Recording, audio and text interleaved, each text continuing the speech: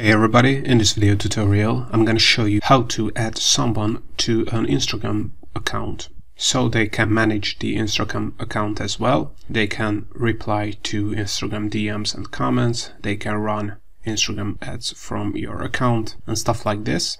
Alright, so if you want to add someone, a user or an admin to or a manager to an Instagram account. You can do that in Meta Business Suite, which used to be called Facebook Business Manager, and you can open it by going to the URL business.facebook.com, then sign in into your Meta Business Suite account, and before you would be able to add someone to an Instagram business account, you have to make sure that the Instagram account is added to the Meta Business Suite account. If you haven't created a Meta Business Suite account yet, or you haven't added uh, the Instagram account to the to this suite yet, then I have tutorials on both of these, so make sure to check them out before doing the process that I'm going to show you right now. So once you have added the Instagram account to the Meta Business Suite. All you have to do to add someone to an Instagram account is to open up the Meta Business Suite and make sure you select the business account here. So you're gonna be able to see the settings on the left here. You might have to hover over this panel here. If you do not see the settings button on the bottom left here, you have to make sure you select a business account.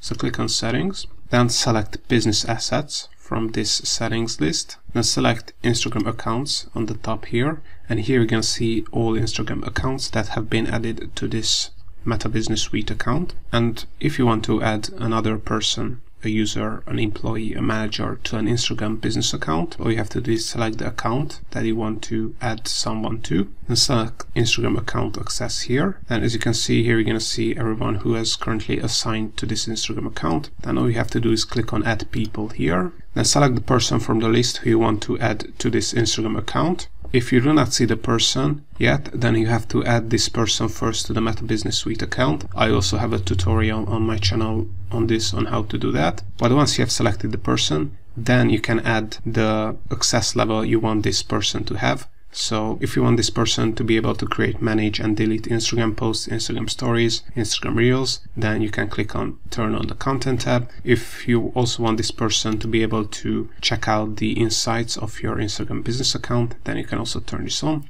And once you uh, selected the right access level to add this person to the Instagram business account, just click on assign here and they will be added to this Instagram account. As you can see, this person has been added to this Instagram account.